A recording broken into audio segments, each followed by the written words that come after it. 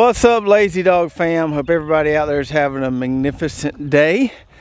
Today on the homestead it is planting day. Lots of stuff to plant. On the last video we got plots ready to plant and now today we're going to be planting some popcorn, some more cucumbers, some more summer squash, peanuts, and even some cool heirloom okra that a viewer sent us. So on that last video, we got our elephant garlic harvested from right here, got that cleaned up. And take a look at our garlic here. It's curing up nice.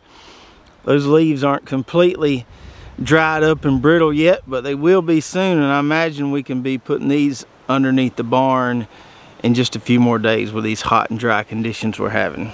But we got this cleaned up and we got our drip tape back down. We put some of that nature safe organic fertilizer in the furrows. So we got two rows right here that are spaced kind of five feet apart or so. We're probably gonna do half cukes, half summer squash on one of those and then all different kinds of summer squash on the other row. And then we got six rows over here dedicated for our popcorn. So a lot of what we're doing today is what we call succession planting.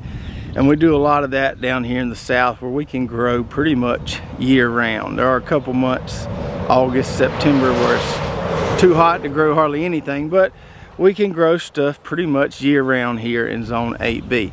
So we've got some squash and cucumbers over that way that are just producing really, really well right now. So why would we be planting more squash and cucumbers?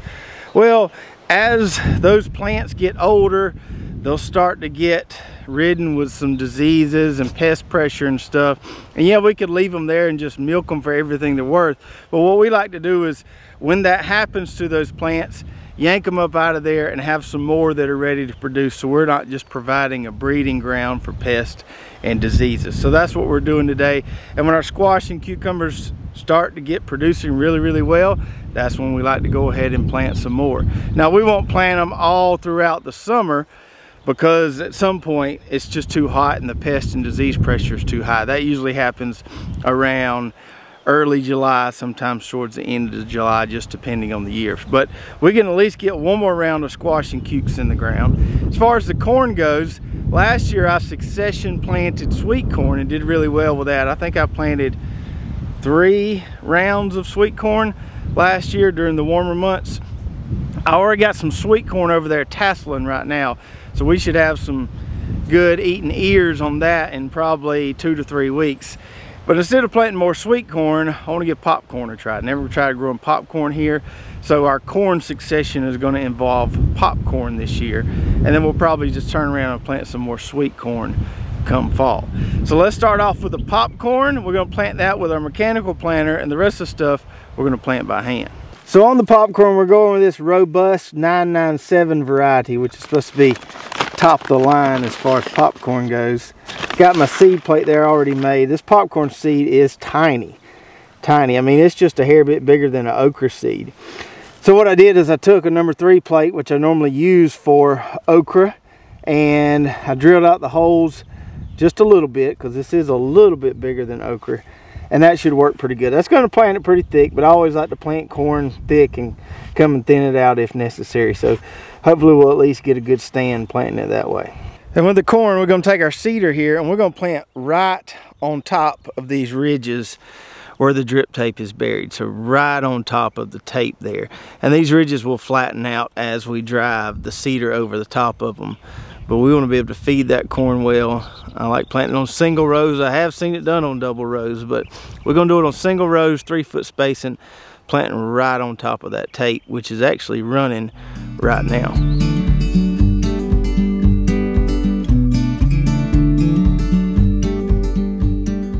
All right, so corn is down. That was super fast. Now let's talk about the cucumbers and the summer squash that we're gonna be succession planting. So the variety of cucumbers is a pickler called Supremo. And I found out about this variety um, from a seed supplier that actually serves a big commercial farm right down the road from here. When those guys traditionally grow Max Pack.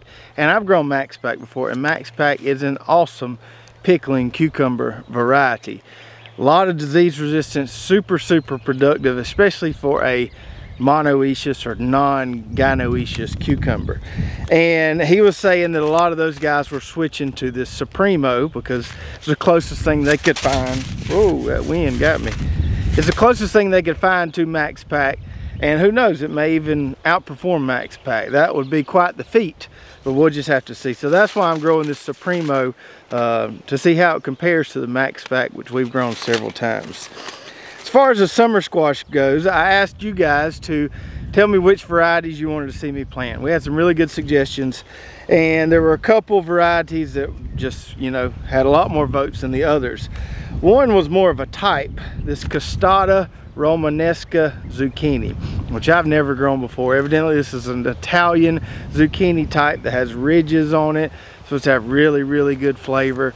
So I uh, got these from High Mowing. They were the only place I could find that had the, the original OP version of this. So I got some of those.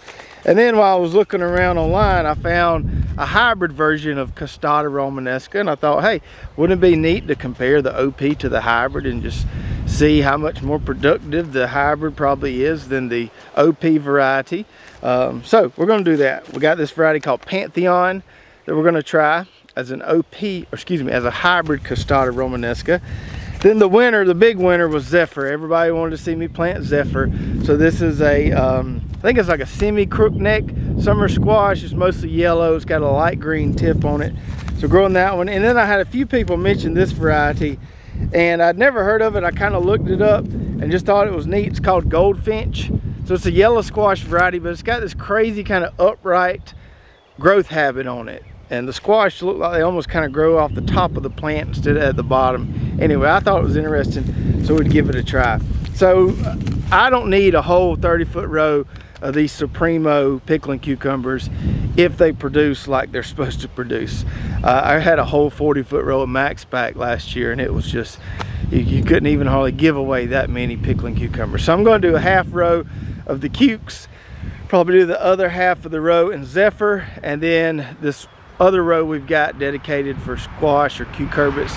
We'll probably do a third Costata Romanesca, a third of the hybrid Pantheon, I think that's what it's called, and then a third of the Goldfinch.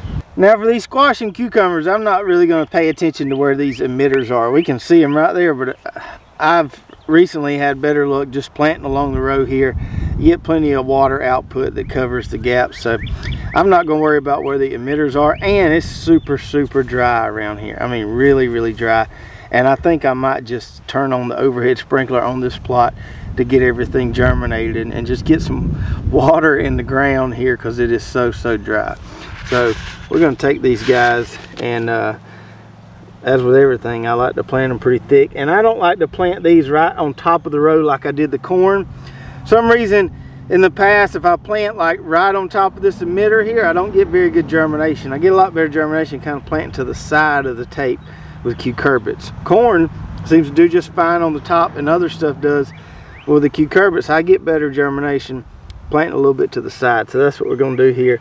And we're just gonna put these puppies in here thick because we're gonna uh, provide a vertical trellis for them once they germinate, get up and going. So we can um, plant them thicker than if we were just letting them sprawl out on the ground.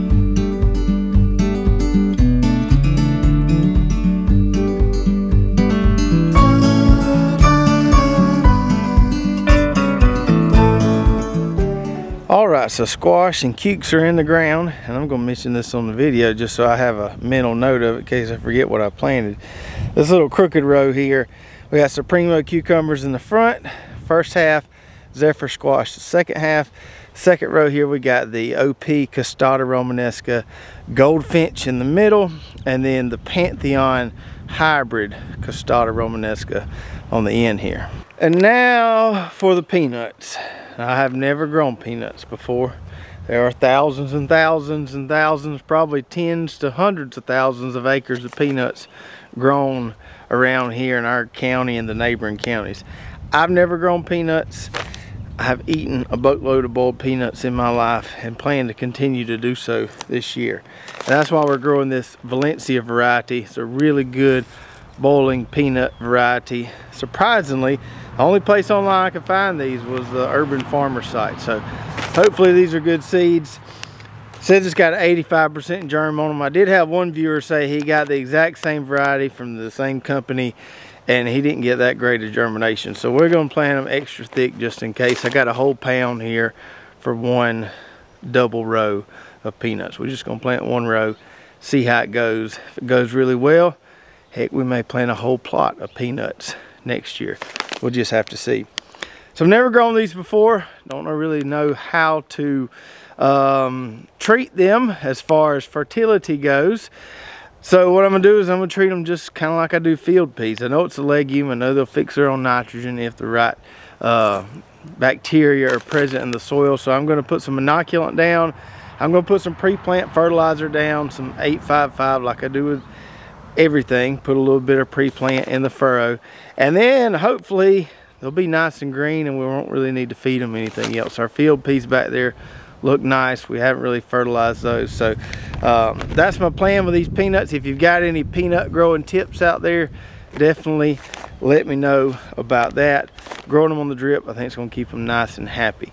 The commercial guys around here grow them on double rows, so that's why I'm planting them on double rows. Now, as far as our planting spot here, this is where we had all those brassicas we harvested and mowed down a couple videos ago. I got those drip lines pulled back, went in there and wheel hoed that. Still got a few weeds, pesky ones wanting to come back there in the back. So I'm gonna do the peanuts on this row right here, this first row. I don't know what I'm gonna do with this space right here yet. I need to just uh, unhook those drip lines, put a plug in there until I decide what to plant there. If you got any good suggestions, definitely let me know. I did have one viewer say that peanuts don't do well when planted near field peas but I really don't have no choice at this point. Hopefully they are far enough apart where uh, that's not going to be a problem. We'll just have to see. So anyway, I got the furrow made already. So what I need to do is just amend this furrow, lay that tape back down, bury it, and then we'll be ready to plant some peanuts.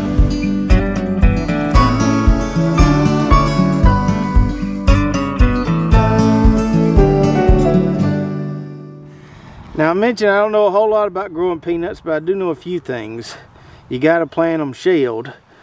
You don't want to plant peanuts with the shell on them. Some companies sell them with the shell on them and you got to shell them yourself, then plant them. Thankfully, these were already shelled, which I'm glad I didn't want to buy peanuts with the shell on them. That's kind of like buying a T-bone steak. Another thing is you don't want to plant these splits right here. You just kind of throw those away. You want to make sure you plant the whole peanut like that there. Don't plant those splits. Just trash those or snack on them, whatever you want to do. So I probably could plant these with the seeder, but I'd have to make a custom plate.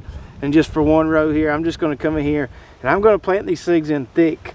The recommended spacing on these is six to eight inches, but that one guy got me a little bit worried about the germination. So I'm going to plant them thick and we'll thin them if we got to.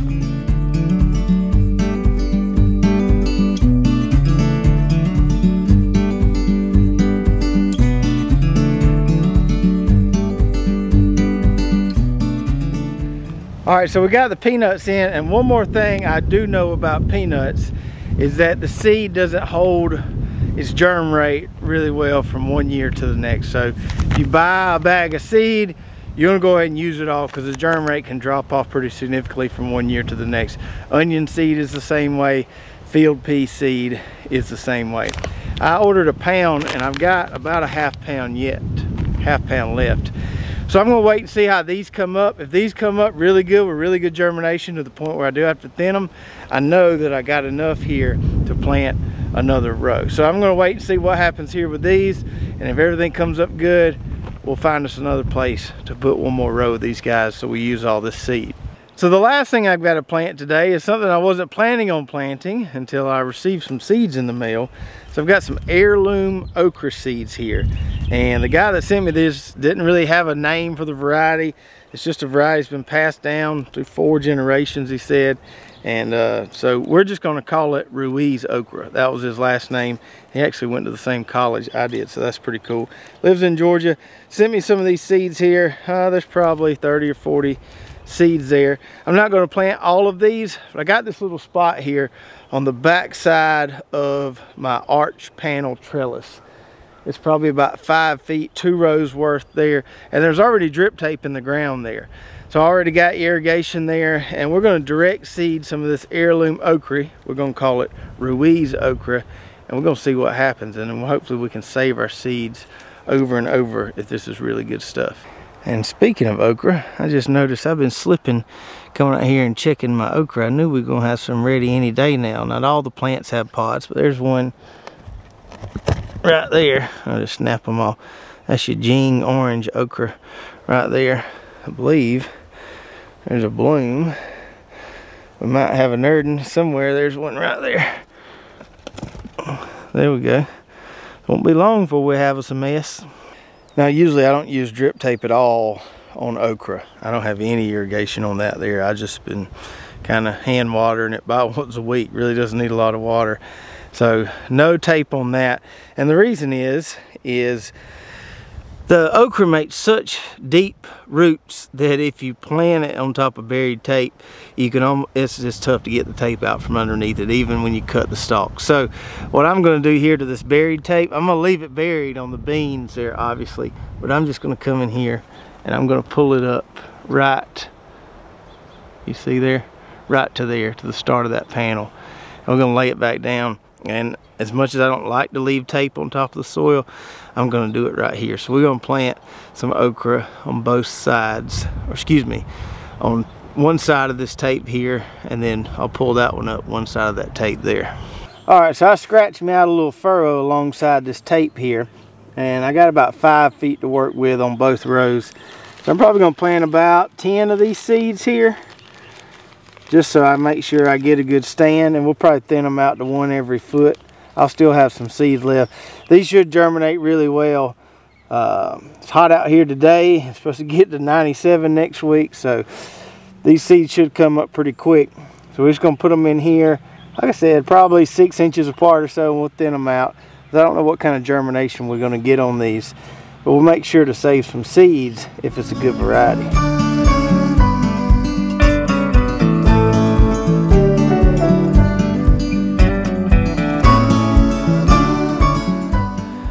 Right, all right, all right. Good to get that stuff planted. We just keep filling in the gaps. As spaces become available, we're gonna fill them in, at least until it gets really, really hot, and then we'll start planting mostly cover crops. But until then, we're gonna keep throwing vegetables in any spot or place we can find them. Still gotta get our sweet potatoes in the ground. My slips hadn't got here yet. I delayed the shipment a couple weeks and you guys suggested some really good varieties so I'm growing Georgia Jet because I always grow that one. You wanted me to grow some bush varieties so I've got Vardaman ordered uh, Murasaki and there's one more I can't remember the name of it. We'll know when it gets here but I got four different varieties I think 50 plants each. Uh, we're gonna do a whole plot of sweet potatoes and so that should be exciting. We'll have that coming up whenever those sweet potato plants arrive in the mail.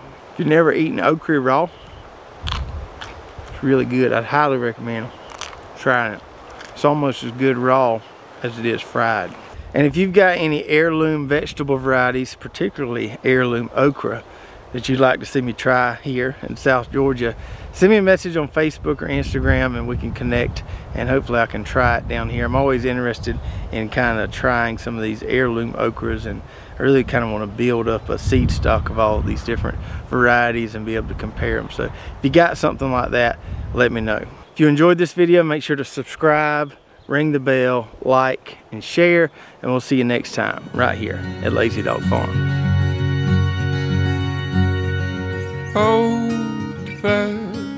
Farewell.